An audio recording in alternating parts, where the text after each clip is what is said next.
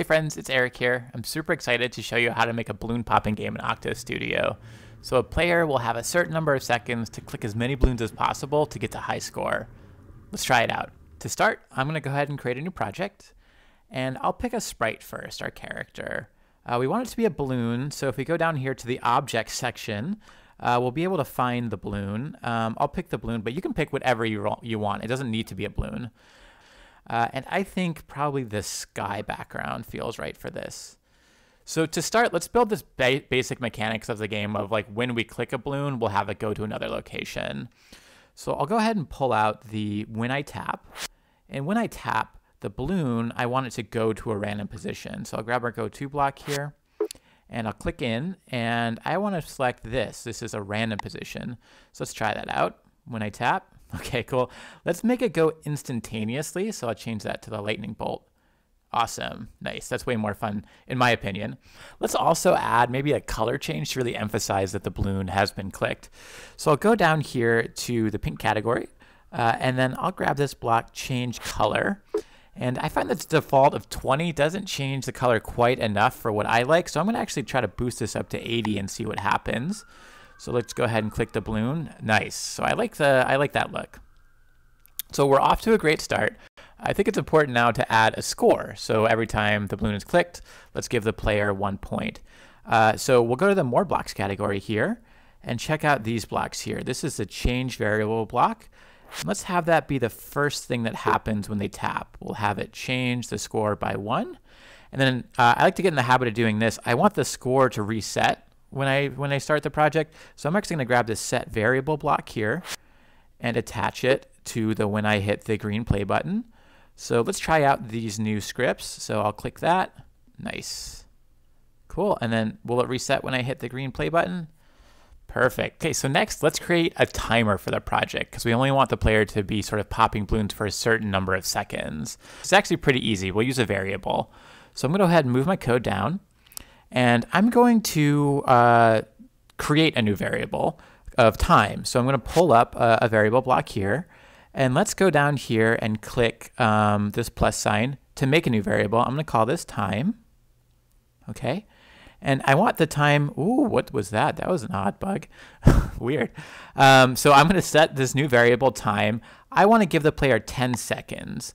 So let's say at the beginning of the project, when they hit the play button, time is going to be set for 10, and then every second, I want the time variable to go down by one. So it's essentially a countdown. So I'll go ahead and grab this um, repeat block, and we'll say repeat 10. And then what I want to do is, yeah, subtract 1 from that variable. So I'll change the time variable by 1. Uh, and then let's go ahead and click and see if it works.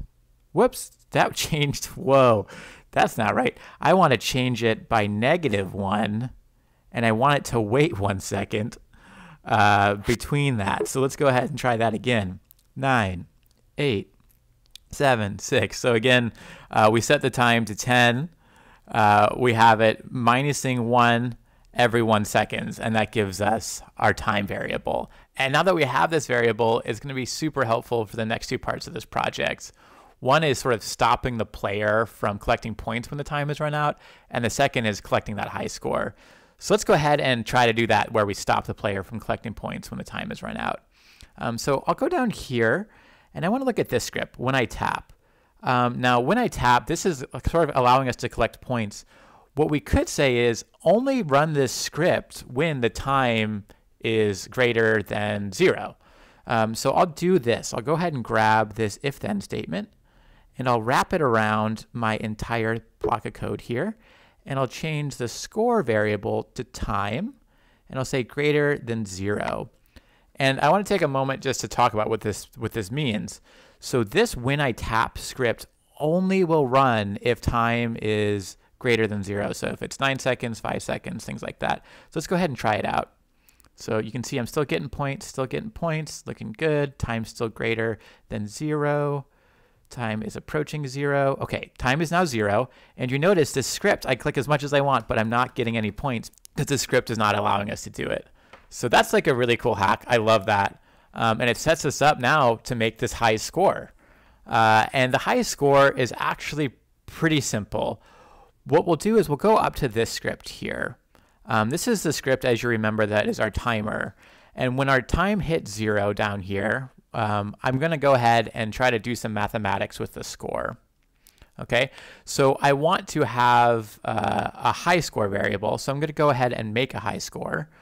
So I'll go ahead to the variables and I will do a, a uh, set variable and I will pick, uh, I don't have high score yet, so I'm going to go ahead and add high score.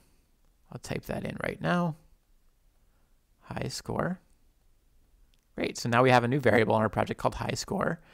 Before I do that, let's talk about the logic. Um, if our score exceeds the high score, we want to set the new high score. So we can do that uh, using the same kind of if-then statement. So I'll go ahead and pull this in. And let me rearrange some of the code so it's a bit easier for, for folks to see. So uh, yes, um, you know, if the score is greater than our high score, so I'll pull that in, variable high score, is greater, then we want to set our new high score to our score. So uh, I'll walk through that again. So if I've scored 10 points and our previous high score was 8 points, then we have a new high score. So let's set that high score to that current score. Um, and let's go ahead and see if that works. So I'll go ahead, I'll play, I'll play one round here where I'm not doing so good. Maybe I'll just keep it at three or four points. Okay, and let's see how this runs. Okay, high score is now four. So let's go ahead and replay the project and let's try to set a new score of something like, oh gosh, let's get, let's try to get 10. Let's try to get 10. Can I get 10? Great. So this should now give us that new high score. There you go. So it's actually pretty simple to make a high score in OctoStudio. I really love that. Um, but anyways, this is a great start to a project. I'm excited to see what direction you take it.